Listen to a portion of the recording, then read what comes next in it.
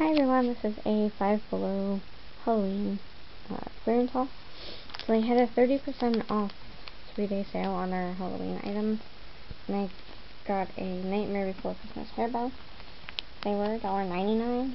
And then this is the one it shows that I got. And there are six that you could get. The one I actually got has Jack Skellington with some bats. I'm not sure if that was a blooper or if it's just an extra one I'm not showing. I got two packs of the Forever Young by Jean Pierre 25 makeup removing and cleansing wipes fragrance free. They these little sugar skulls on the pack. They were marked down to 87 cents. And I got a collection of ghost stories called Ghostly. It is illustrated by Audrey Niffin Nager and it was $5. This one wasn't part of the markdown. So it has all these people and cats on the inside, and it has stories by Edgar Allan Poe, Audrey Nager, Edith Wharton, P.G. Wodehouse, M.R. James, Neil Gaiman, Rudyard Kipling, Saki, Ray Bradbury, and many more.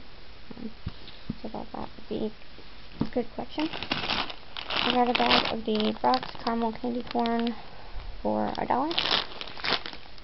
And I got Ganesh sticks in the best Halloween incense. They're called Ghostly Glow. Uh, ghoulishly spicy special Halloween treat. There are 50. This was with all the Halloween things, um, but it ended up not being included in the 30% off sale. So they were $4. Um, they kind of smell like cinnamon and clove and kind of like a allspice almost. And then I got a box of the Butterfinger Bites. That is what I got, and thank you for watching.